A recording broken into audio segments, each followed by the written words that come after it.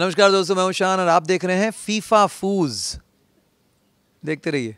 सबसे पहले तो वेलकम टू चैनल सर आपको हमेशा स्क्रीन पे देखना एक बहुत ही बड़ा प्लेजर रहा है। आपके फैंस जो है आपको स्क्रीन देखते हैं, चाहे वो होस्टिंग हो, चाहे आपकी सिंगिंग हो, बहुत खुश होते हैं। और अभी वापस एक आपका जो अंदाज है, जो में नज़र आ रहा है, उससे काफ़ी ज़्यादा फ़ैन एक्साइटेड है कि जो आपकी पूरी जर्नी होगी में, उसको देखें और काफ़ी उसको करें। तो आप कितने इन्जॉय करते हुए नज़र आ रहे हैं इस पूरी जर्नी को मिका सर के साथ में?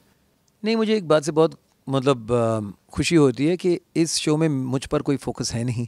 इस शो पे पूरा पूरा का फोकस पूरा का पूरा जो फोकस है सॉरी दो बच्चों के इसलिए मेरा थोड़ा सा, पूरा का पूरा जो फोकस है, वो हमारे मिका सिंह पर है। और मैं उनका बस साथ दे रहा हूँ, दोस्त के नाते। और ऑफ़ कोर्स होस्ट भी कर रहा हूँ तो एक बहुत साल बाद ये एक्सपीरियंस फिर से जी रहा हूँ तो इसको भी एंजॉय कर रहा हूँ।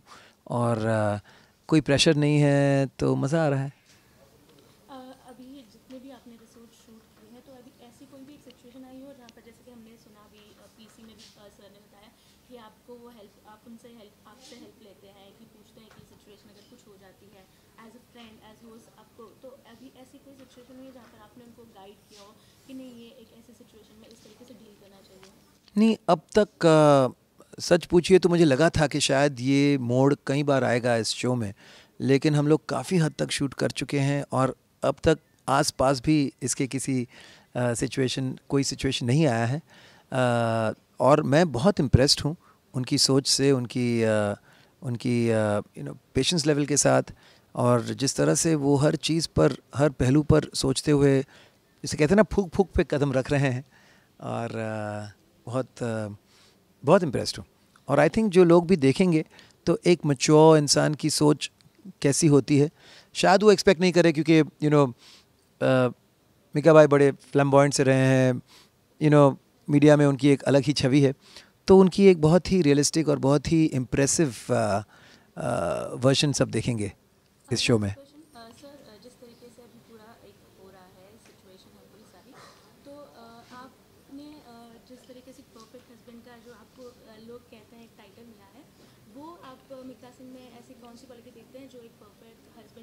तो परफेक्ट तो परफेक्ट हस्बैंड वही होता है जो यू नो क्या सही है, क्या गलत है, ये कहना मुश्किल है। Everything is about the consequence आप क्या सोचकर कुछ करते हैं, उसकी कॉन्सिक्वेंस अगर गलत हो जाती है तो फिर आप नेगेटिव हो जाते हो।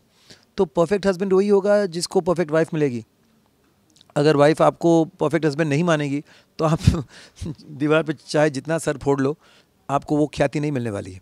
So it it is all दो हाथ से ताली बजने वाली बात है। तो दूसरी बात यह है कि मिक्का में जो क्वालिटीज़ हैं, बहुत सारे परफेक्ट हस्बैंड वाले क्वालिटीज़ हैं। मुझसे बहुत ज़्यादा वो उसमें, उनमें धैर्य है, एक सब्र है उनमें, जो मुझमें नहीं है। बहुत सारी चीज़ें वो सुनते हैं ध्यान से जो मैं नहीं करता हूँ, मेरी बीवी हमेशा कंप्लेन करती है, तुम बस अपना पट पट पट पट करते रहते हो।